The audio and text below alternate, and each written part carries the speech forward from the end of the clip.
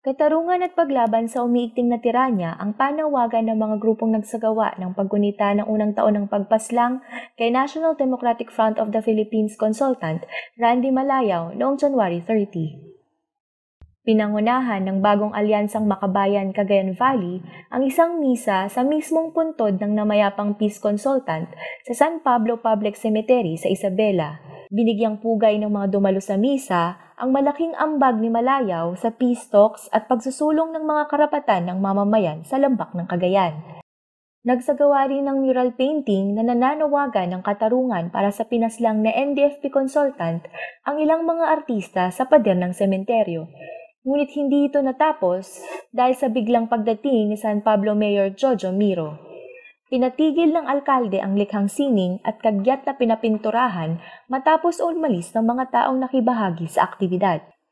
Matapos ang misa, tumungo ang mga kasaping organisasyon ng Bayan Cagayan Valley sa himpilan ng 5th Infantry Division sa Gamo Isabela. Nagsagawa ng protesta ang mga ito sa mismong gate ng kampo upang kondenahin ang kawalang hustisya sa pagkamatay ni Malayaw at patuloy na pandarahas sa mamamayan ng rehiyon. Itigil ang pamamaslang! Tigil! Katarungan para kay Randy Malayaw! Tarungan! Katarungan para sa lahat ng biktima ng pamamaslang! Tarungan! Samantala, isa namang maikling programa at candle lighting ang pinangunahan ng mga progresibong mag-aaral at ng Beta Sigma Fraternity ang idinaos sa UP Baguio. Si Randy Malayaw ay isang peace consultant na binaril ng di kilala, mga di kilalang kilalang habang siya ay natutulog sa sinasakyan niyang bus sa Nueva Ecija. Hindi malayo ang kalagayang humuhubog sa pagpatay kay Sir Randy sa atin at sa malawak na hanin ng mga progresibong individual at organisasyon. Nagbahagi naman ng kahalagahan ng ginagampan ng papel ni Malayaw sa pagpaparating sa publiko ng mga kaganapan sa peace negotiations si Kimberly Kitasol, ang editor-in-chief ng Northern Dispatch. His column in the Northern Dispatch, called Bandillo, is just an extension of his larger uh, and wider work for peace based on justice, for genuine and lasting peace.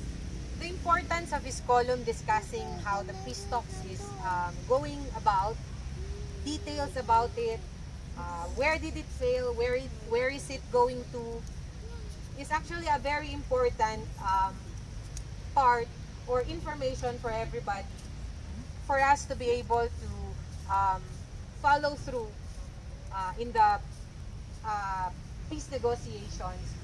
Laman ng kanyang kolum na bandilyo ang mga updates kaugnay sa peace negotiations at mga isyong nakakaapekto sa pagkamit ng pangmatagalang kapayapaan na nakabatay sa hustisya.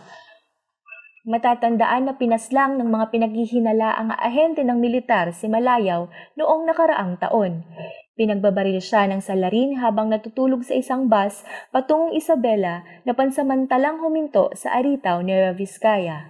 Kaiba sa iba pang mga NDFP consultants, si Malayaw ay walang kasong kinakaharap kung kaya't siya ang madalas na nagiging tagapagsalita para sa bahagi ng NDFP sa mga forum at iba't ibang pagtitipon kaugnay sa negosyasyon. Bago ang patraydor na pagpaslang, idinawit si Malayaw ng Department of Justice sa petisyon nito upang ideklarang teroristang grupo ang Communist Party of the Philippines at New People's Army noong 2018.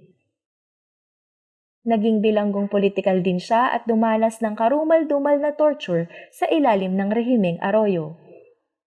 Napawalang sala siya sa lahat ng kaso matapos ang mahigit apat na taong pagkakapiit.